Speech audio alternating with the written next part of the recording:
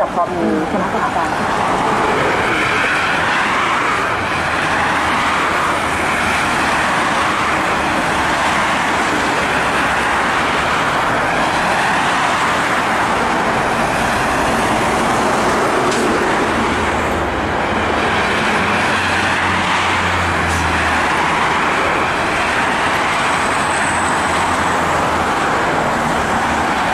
แต่เหมือนกับพอมีคณะกรรมการที่ที่ เก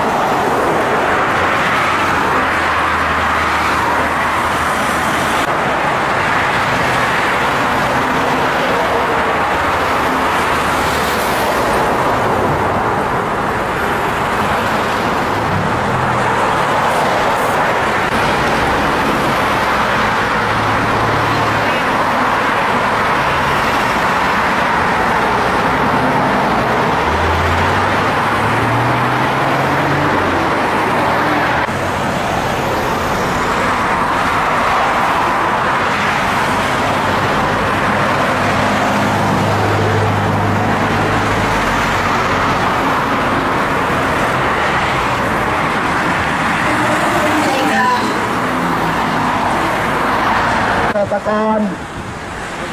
ทั้งสองจังหวัด มีจังหวัดกำแพงเพชรและจังหวัดนครสวรรค์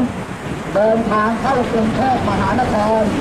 เพื่อจะไปปรับโครงสร้างที่ตามที่นายกรัฐมนตรีพลเอกประยุทธ์จันโอชา ได้ประกาศไว้ว่าให้ปรับโครงสร้างนี้ให้กับเกษตรกรที่เป็นนี้ โดยตัดดอกเบี้ยออกหมดลดเงินต้นครึ่งหนึ่งหุดดอกเบี้ย 15 ปี และมีแผนฟื้นฟูอาชีพ มีโครงการชำระหนี้หลังปรับโครงสร้างหนี้แล้วนะครับหลังปรับโครงสร้างหนี้แล้ว ขณะนี้จังหวัดกำแพงเพชรจังหวัดนครสวรรค์ก็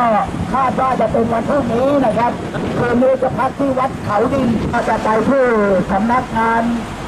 ทกสกรุงเทพมหานครนะครับ เพื่อไปปรับโครงสร้างหนี้ตามที่ท่านนายกรัฐมนตรีพลเอกประยุทธ์จันทร์โอชาได้ประกาศไปเมื่อเดือนที่แล้ว